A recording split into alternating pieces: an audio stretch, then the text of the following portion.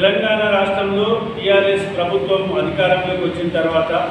ధరణి portal విధానాన్ని తీసుకొచ్చి అనేక మంది పేద రైతులకు పేద రైతుల యొక్క భూములను ధరణిలో రాకుండా ఇబ్బందులకు గురిచేసి ధరణి పోర్టల్ను కేవలం భూస్వాముల కోసమే ధరణి పోర్టల్ను పెట్టడం జరిగింది. దాంతో నష్టపోయినటువంటి రైతులకు మరి ధరణి పొట్టలు తీసివేయాలని అదేవిధంగా ఈ ప్రభుత్వం ఎన్నికల ముందు ఇచ్చినటువంటి రుణమాఫీని ఇప్పటి వరకు నాలుగు సంవత్సరాలు గడుస్తున్న రుణమాఫీ చేయకుండా మరి ఆయన ఇస్తున్నటువంటి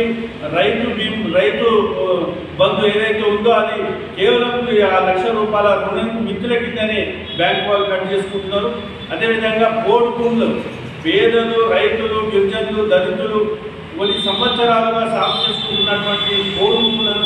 మరి వారికి హక్కు ఇవ్వకుండా హక్కు పత్రం ఇవ్వకుండా ఎనిమిది సంవత్సరాలుగా పేద రైతులకు భూములపై హక్కు కల్పించకుండా అదేవిధంగా మరి భారీ వర్షాలకు నష్టపోయినటువంటి పంటలకు మరి ఇన్పుట్ సబ్సిడీ కావచ్చు.